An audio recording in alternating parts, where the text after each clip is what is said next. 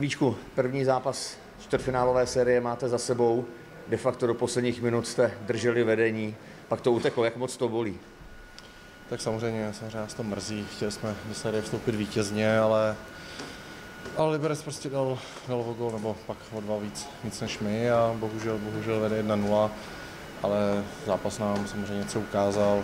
Viděli jsme, že to bude vyrovnaná série, myslím, že to byl boj od začátku až do konce a prostě zítra do toho půjdeme stejně jako dneska s tím, s tím že se samozřejmě pokusíme poučit z našich chyb a půjdeme se pro vítězství.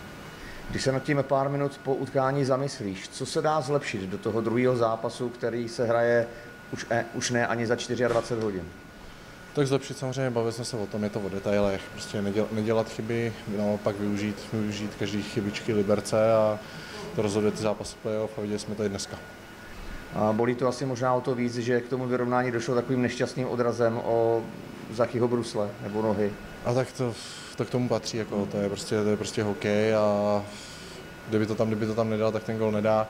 Udělal, udělal to šikovně, že se to odrazí, prostě se stane a Jestli se to zítra, zítra prostě, nebo ne zítra, ale prostě po zbytek série my si musíme taky chodit eh, naproti tady těm, tady těm špinavým gólům, rozhodujou a viděli jsme to, že to tak je. No.